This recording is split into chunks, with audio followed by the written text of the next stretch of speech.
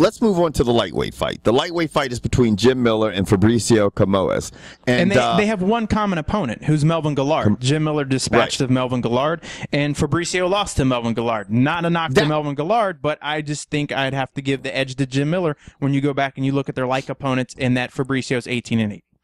Yeah, and, and, and, and just, you know, with that being said, I mean, everybody that Jim Miller faces, I mean, when Jim Miller, Jim Miller pretty much disposes of everybody unless you're a really top tier fucking lightweight. You know what I mean? I mean, he's had his problems against champions, and that's it. Everybody else in that class, he goes through. I mean, he lost to Benson Henderson. He loses to people that are really fucking good in the lightweight class. Everybody Right. else, forget about it. Now, he lost he lost to Pat Healy, but it turned out to be a no contest. But before that, Jim Miller had losses to Nate Diaz and Benson Henderson. But like Kevin Right. said, he dispatches of everyone else. Gray Maynard, ex champion. dispatches. Uh, Frankie damn, I like Edgar, ex champion. So I mean, if you, if you look at this guy's track record, he's kind of got that Uriah Faber syndrome. Can you throw another big word out at me? I like that shit. Dispatches. Dispatches. that motherfucker dispatches his ass.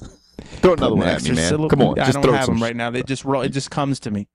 Oh shit! Are you on pain meds or something? Is that why you're? I, I guess you wouldn't be hyped up if you were on pain meds. How- No, I mean, not. It's not that bad. It's not like I went to the are you- hospital. I did look. I did fall off the, The box, hospital. scrape my whole entire shin, and then just take a little lap around the gym and got back in and finished my workout.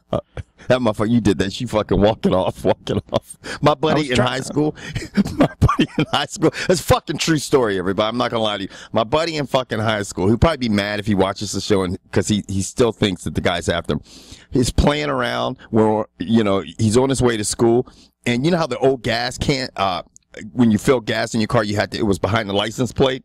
You have to mm-hmm. lift that shit up and put, well, he pulls in, it's like a little, it's snowing out and he pulls in and there's a guy basically filling his gas up, his car up with gas and he's st- standing behind his car and he gasses the car to scare the guy and he hits the brakes, but the car slides on the ice and fucking crunches this motherfucker. crunches crunches this guy between the cars. I swear to fucking God, crunches it. He goes, oh! So he backs the fucking car up, right? And the guy crumbles to the ground, right?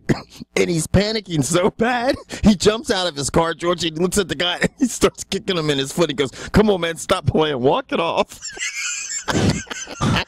he crush, he crushes the motherfucker's legs and tells the guy to get up and walk it off, dude. True fucking story. I can't make this shit up. Uh, now, I'd have just stayed in the car and hung a tight left and got out of the gas station. I, I would have rolled the fuck out, man. But he tried to fucking convince the guy to fucking get up. Guy's legs was crushed. The next time he saw the guy two months later and he was walking with a cane. Two months later. now,